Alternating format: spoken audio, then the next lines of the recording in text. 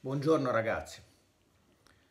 È ormai quasi certo che la lontananza dagli amici, dalla nostra cara scuola, dallo sport e da tutte le cose piene di bellezza e di significato che riempiono la nostra vita.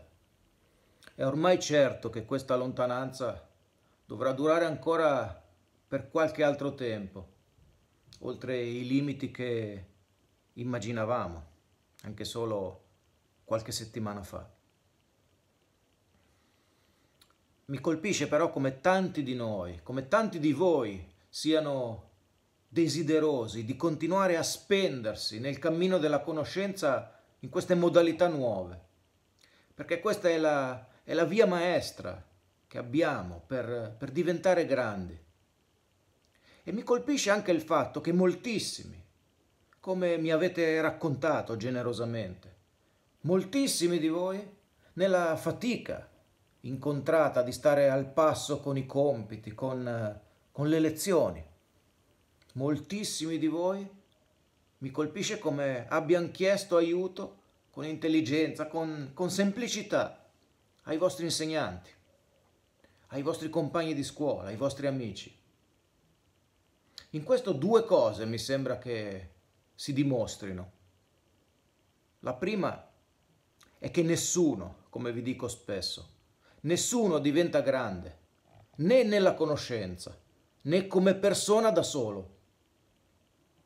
La seconda cosa è che non c'è circostanza pur faticosa che possa impedire ad un uomo o ad una donna di vivere intensamente la realtà che gli è data da vivere, facendo leva su quel tanto di bene che abbiamo condiviso in un tratto più o meno lungo del nostro cammino, su quel tanto di bene che ciascuno ha introdotto nel cammino dell'altro, su quel tanto di bene che ciascuno continua ad attendere e a ricercare ogni giorno. Ci stringiamo ai tanti di noi che sono preoccupati oggi per la malattia degli amici, dei loro parenti.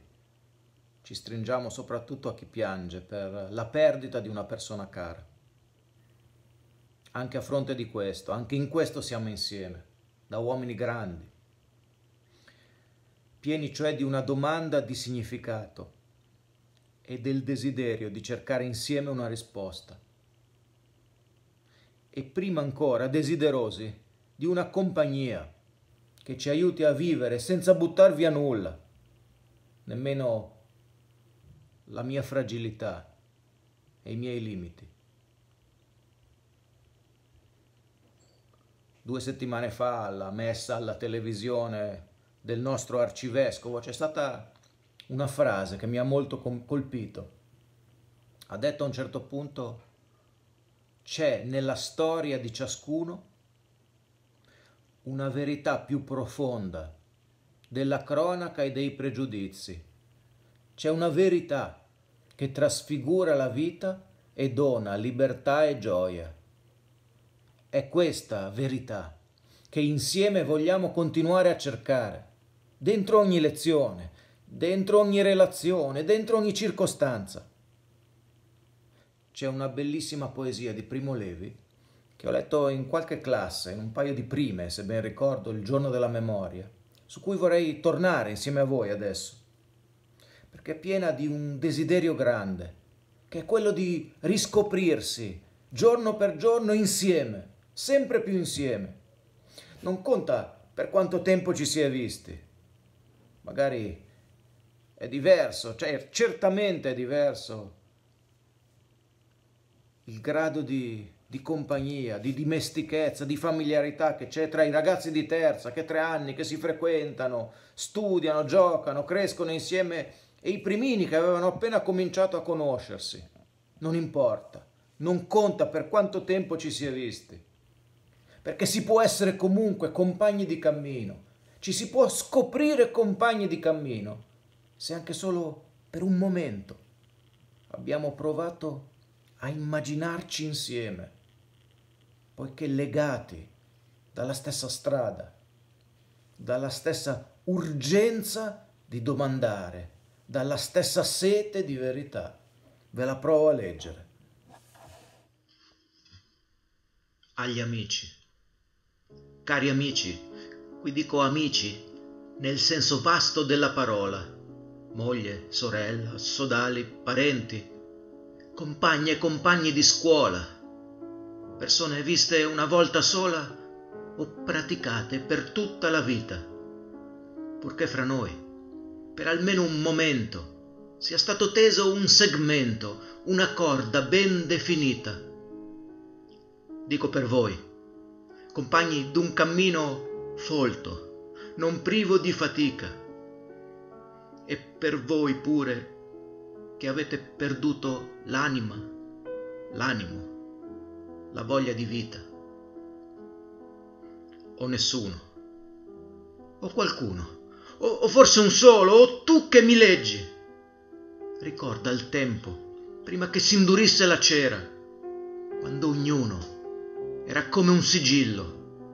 Di noi ciascuno reca l'impronta dell'amico incontrato per via, in ognuno la traccia di ognuno, per il bene o il male, in saggezza o in follia, ognuno stampato da ognuno. Ora che il tempo urge da presso, che le imprese sono finite, a voi tutti l'augurio sommesso che l'autunno sia lungo e mite. Che la pasta di cui è fatta la nostra vita. Questo è l'augurio che ci facciamo. Trovi sempre una tenerezza di sguardo e di abbraccio che le impedisca di diventare dura, cioè fredda e disillusa. Che conserviamo l'impronta di ciascuno nella calda cera del nostro desiderare, ognuno stampato da ognuno, in ognuno la traccia di ognuno, come dice il poeta. Anche il nostro tempo ora urge da presso le circostanze ci incalzano, è vero. Ma mi perdoni, Primo Levi, non è l'autunno che noi attendiamo, nemmeno quello lungo e mite. La vera impresa, la sola urgenza è che la vita rifiorisca, che possa rifiorire adesso, che possa rifiorire sempre. Per questo la memoria delle tante corde tese fra noi, dei tanti segmenti ci aiuta. Vi invito per questo motivo a un piccolo gioco, per ricordare su quale strada siamo stati raccolti insieme. Troverete le istruzioni sotto questo video. Vi serve in PC, ma è sufficiente anche il vostro telefono.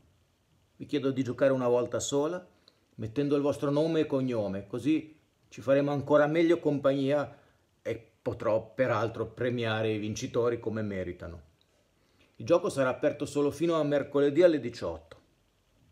Oltre alla memoria, infatti, c'è bisogno infatti di continuare a cercare oggi, nella nostra quotidianità. Per questo giovedì lanceremo un concorso fotografico intitolato Straordinario quotidiano a cui parteciperanno anche delle altre scuole. Per il momento, cari ragazzi, vi saluto caramente con grande affetto e vi auguro una grande settimana.